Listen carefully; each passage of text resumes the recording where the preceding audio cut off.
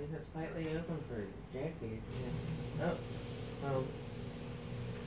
well. Alright, perfect timing. The end of video or the live stream now.